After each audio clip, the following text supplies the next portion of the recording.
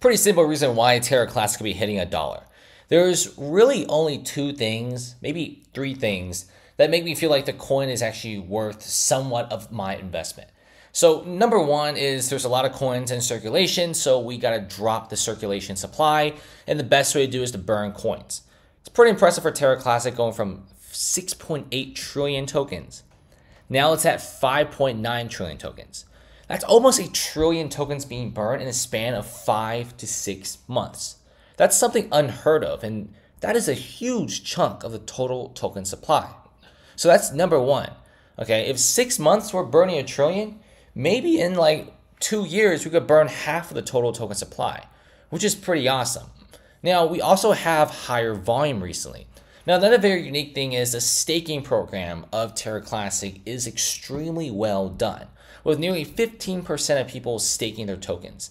That's 15% of all the tokens in existence for Terra Classic.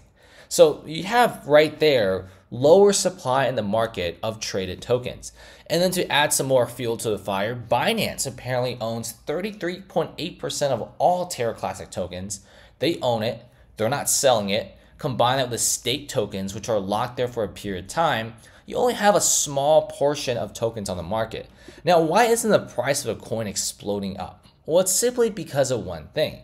The markets are absolutely terrible with the FTX collapse and so much more, the coin just really isn't feeling that well. In fact, we were actually due for a pretty decent pump like over here.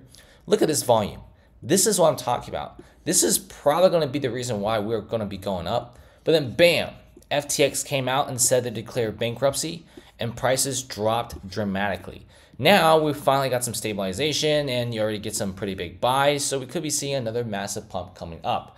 I say don't sleep on Terra Classic, especially how heavily backed it is by Binance. And Binance has been talking about Terra Classic nonstop for the year 2022. So all these things do add up pretty well. There's also a lot of new projects coming in. So with Terra Classic being only a $1 billion market cap token, it used to be like 30 to 40 billion. The growth potential of the coin is so much higher than other tokens out there.